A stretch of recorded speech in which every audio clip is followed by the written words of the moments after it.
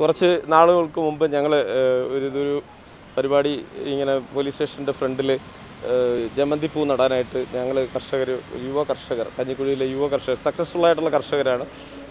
അവരും പോലീസും കൂടെ ചേർന്ന് തീരുമാനിക്കുകയുണ്ടായി.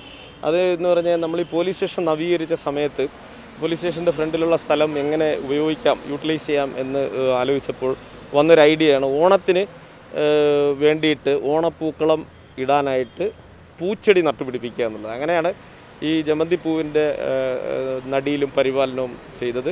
പോലീസിന്റെ ഒരു കമ്മിറ്റി ഇതിനകത്തുണ്ടായിരുന്നു. കർഷകർ സുഹൃത്തുക്കളുടെ ഇടയ്ക്ക് വന്ന് ഇത് പരിപാലിക്കുമായിരുന്നു. ഇതിന്റെ വളവും കാര്യങ്ങളും ഇതിന്റെ എല്ലാവിധ ഗൈഡൻസും തന്നത് നമ്മുടെ യുവ കർഷകരാണ് കഞ്ഞിക്കുഴിയിലെ യുവ കർഷകരാണ്.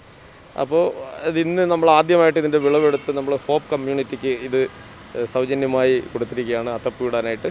തുടർന്നുള്ള ദിവസങ്ങളിലും തിരുവോണം വരെയും ഇവിടെ വരുന്നവർക്ക് എല്ലാവർക്കും പൂ സൗജന്യമായി കൊടുക്കും. അതാണ് നമ്മുടെ ഐഡിയ. അഞ്ഞൂറോളം ഗ്രോ ബാഗുകളിലാണ് മാരക്കുളം പോലീസ് സ്റ്റേഷനിൽ നമ്മൾ ചെണ്ടുമല്ലി കൃഷി തുടങ്ങിയത്. ഗ്രോ ബാഗുകളെല്ലാം നമ്മുടെ കൃഷിക്കാരെല്ലാവരും ചേർന്ന് നിറയ്ക്കുകയും അതിനകത്തേക്ക് വേണ്ടുന്ന ചെണ്ടുമല്ലികൾ ശ്രീ അജിത്ത് സംഭാവന ചെയ്യുകയും ചെയ്തു. ആഴ്ചയിൽ മിക്കവാറും ദിവസങ്ങളിൽ ഓരോ കർഷകരായിട്ട് ചെന്ന് ചെടികൾ പരിപാലിക്കുകയും ദിവസവും പോലീസുകാർ അതിനെ ശുശ്രൂഷിക്കുകയും ചെയ്തിരുന്നു. ജലസേചനങ്ങളെല്ലാം നടത്തിയിരുന്നത് പോലീസ് സ്റ്റേഷനിലെ പോലീസുകാരുമാണ്. പോലീസ് ശ്രീ രാജേഷ് സാർ ഉൾപ്പെടെയുള്ള പോലീസുകാർ ചേർന്നിട്ടുണ്ട് ബാക്കിയുള്ള നിർദ്ദേശങ്ങളെല്ലാം കർഷകർ നൽകി നൽകുകയായിരുന്നു ചെയ്യുന്നത് വളപ്രയോഗങ്ങൾക്കെല്ലാം കർഷകർ സ്ഥിരോത്സാഹത്തിൽ പങ്കെടുക്കുകയും എല്ലാവരും ആ കൃഷിയുടെ വിജയത്തിന് ആത്മാർത്ഥമായി സഹകരിക്കുകയും ചെയ്തിട്ടുണ്ട്.